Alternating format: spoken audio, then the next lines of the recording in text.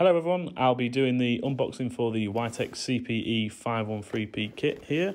Uh, this is the 300 megabits uh, point-to-point -point access bridge from Wi-Tek.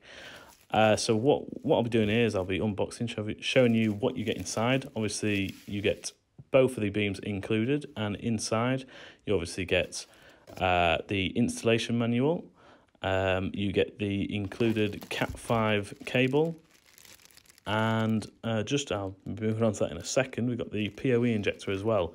Uh, so you do have to use the PoE injector. Unfortunately, uh, they do not yet work through switches. We don't know if it's something that'll be coming in the future, but as of yet, you do have to go through the PoE injectors. And here's obviously your mounting bracket for putting onto a pole. Uh, so what I'm going to do now is I'm going to show how easy it is to pair these up. So using the 48 volt power uh, PoE injector, uh, you'll plug these into a, obviously into main socket and just using the cable included. I've used a just a black cable because that's what we had out at the time. Um, so you just plug that into the WAN port on the right hand side. Um, what these will do is they'll start scanning uh, and they'll both land on a different channel. Uh, but after about a minute or two of waiting, these will eventually pair up to be on the same channel. And what you'll get is you'll get a C on, the on the same channel and a H on the same channel. And this is obviously the host and the client and that's it. They're now paired up and ready to send data up to three kilometers away.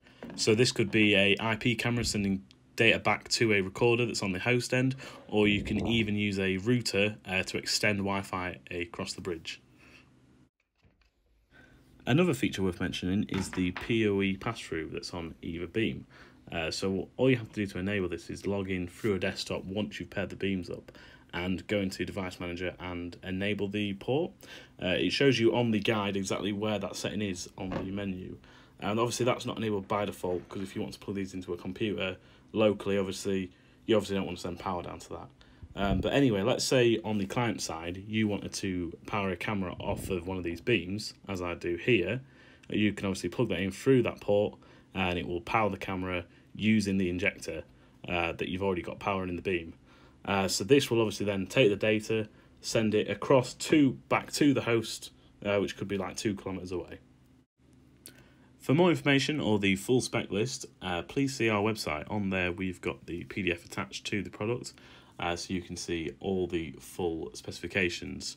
Um, also on our website, if you've got an account on there, you will be able to see the pricing for one of these and order one, as these are now available and on the shelves at Mast Digital. I hope this has been helpful. We're definitely a fan of the product as it was quite easy for me to set up, as you can see, and I'm not very technical. As I mentioned in the video as well, uh, you can extend Wi-Fi using these bridges. Uh, so if you'd like more information on that, maybe another video showing in depth how to set that up, uh, please leave us a comment and let us know.